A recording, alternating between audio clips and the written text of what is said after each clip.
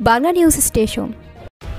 Breaking news, নৌবাহিনীর কর্মকর্তাকে মারধর হত্যার হুমকির মামলায় ঢাকা সাত আসনের সংসদ সদস্য হাজি সেলিমের ছেলে ও ঢাকা দক্ষিণ সিটি কর্পোরেশনের ত্রিশ নম্বর ওয়ার্ড কাউন্সিলর মোহাম্মদ ইরফান সেলিম ও তার দেহরক্ষী মোহাম্মদ জাহিদের তিন দিনের রিমান্ড মঞ্জুর করেছে আদালত।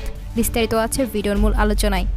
সকাল সাড়ে নটার পর ইরফান ও তার বডিগার্ডকে কেরানীগঞ্জ কেন্দ্রীয় কারাগার থেকে ঢাকা মহানগর হাকিম আদালতে হাজির করা হয়।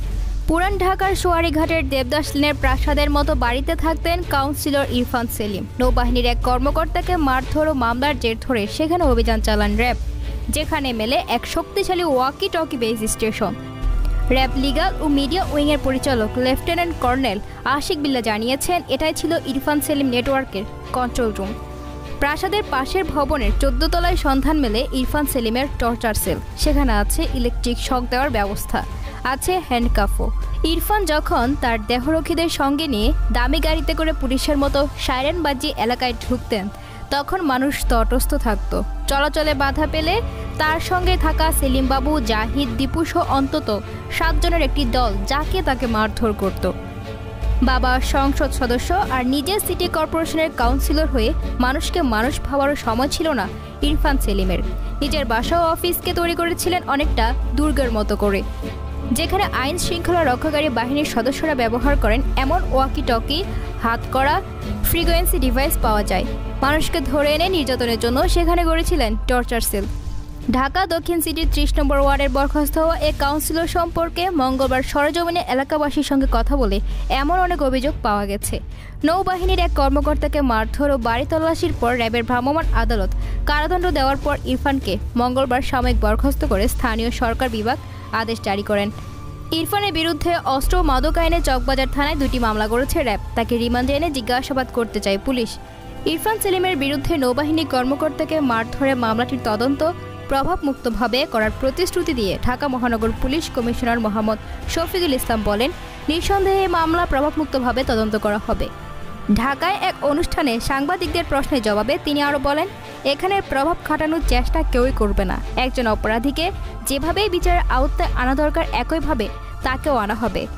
সোমবার রাতে গ্রেপ্তারের পর মঙ্গলবার প্রথম প্রহরে ইরফানকে র্যাব হেফাজত থেকে কারাগারে পাঠানো হয়। র্যাব তিনের অধিনায়ক, লেফটেন্যান্ট কর্নেল রাকিবুল হাসান জানিয়েছেন, ইরফানকে সোমবার রাত দেড়টার পর কারাগারে পাঠিয়ে দেওয়া হয়। এ বিষয়ে ঢাকার জেলার হাবিবুল ইসলাম বলেছেন, ইরফান কারাগারে চোদ্দ দিনের কোয়ারেন্টাইনে থাকবেন। করোনা ভাইরাস মহামারীকালে কারাগারের নিয়ম অনুযায়ী যে কোনো নতুন বন্দিকে একটি সেলে চোদ্দ দিনের কোয়ারেন্টাইনে রাখা হয়। পুরান ঢাকার চকবাজার এলাকায় ঢুকতে মানুষের মুখে মুখে একটাই কথা শোনা যাচ্ছিল। পোলাটা বাপের মান সম্মান রাখতে পারল না। স্থানীয় ব্যবসায়ী রজব আলী বলেন এমপি হাজি সেলিমের বিরুদ্ধে এলাকায় দখলবাজির অভিযোগ থাকলেও এলাকায় যথেষ্ট উন্নয়ন করেছে তিনি। তার ছেলেটার কর্মকাণ্ড ভালো না। সে যখন রাস্তা দিয়ে দ্রুত গতিতে গাড়ি নিয়ে যায়, তখন লোকজনকে রাস্তা ফাঁকা করতে বাধ্য করে। কথা না শুনলে লোকজনকে তারা মারধর করে। টর্চার সেলে ধরে নিয়ে যায়। হাজি সেলিমের দখলে থাকা অগ্রণী ব্যাংকের জমি উদ্ধার। পুরান ঢাকার মৌলভীবাজার এলাকার স্থানীয় সংসদ সদস্য হাজি মোহাম্মদ সেলিমের দখল থাকা রাষ্ট্রীয় মালিকানাধীন অগ্রণী ব্যাংকের জমি উদ্ধার করেছে ব্যাংক কর্তৃপক্ষ। সোমবার ব্যাংকের কর্মকর্তারা ওই জমিতে হাজি সেলিমের দেওয়া সীমানা প্রাচীর ভেঙে ব্যাংকের জমি বুঝে নেন।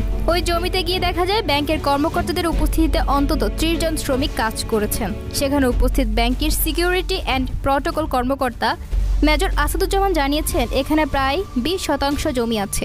এই জমির মালিক অগ্রণী ব্যাংক। তবে জায়গাটি অপব্যবহার করে এতদিন দখল করে আত্মসাতে চিন্তাভাবনা করছিলেন হাজি সেলিম। এ জমি উদ্ধারে চকবাজার থানায় একটি সাধারণ ডায়েরি করা হয়। তিনি বলেন, গত বিশে মে অগ্রণী ব্যাংকের সহকারী মহাব্যবস্থাপক বৈষ্ণব দাস মণ্ডল জমিটি উদ্ধারে চকবাজার থানায় একটি জিডি করেছেন। কাউন্সিলর হলো বাবার সংসদ সদস্য স্টিকার লাগানো গাড়িতে চলতেন ইরফান। সংসদ সদস্য ছাড়া অন্য কেউ সংসদ সদস্য স্টিকার লাগানো গাড়ি ব্যবহার করতে পারেন না। ঘটনার সময় আটক গাড়িটি কাগজপত্র সঠিক আছে কিনা যাচাই করেছে পুলিশ। খোঁজ নিয়ে জানা গেছে গাড়িটি ইরফানের ব্যক্তিগত। সংসদ সদস্য স্টিকার লাগানো ছিল। সো দর্শক, এসব নিয়ে আপনাদের কোনো মন্তব্য থাকে কমেন্ট বক্সে জানিয়ে দিন। আরও আপডেট পেতে আমাদের চ্যানেলটি সাবস্ক্রাইব করে সাথে বেল আইকনটি বাজিয়ে দিবেন। আজকের মতো এখানে বিদায় নিচ্ছি। Thank you